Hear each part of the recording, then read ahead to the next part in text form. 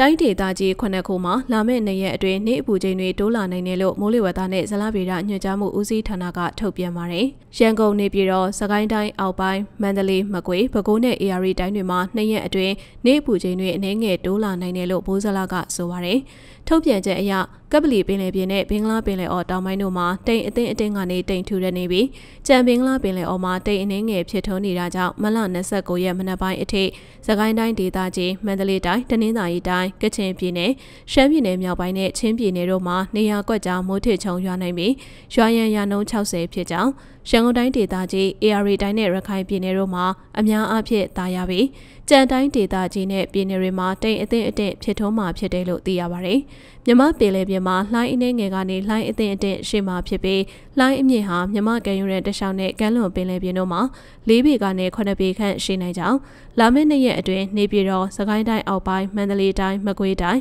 ပဲခူးတိုင်းရန်ကုန်တိုင်းဒေသကြီးနဲ့ AR တိုင်းဒေသကြီးတို့မှာနေအပူချိန်တွေအနည်းငယ်တိုးလာနိုင်တယ်လို့သိရပါတယ်။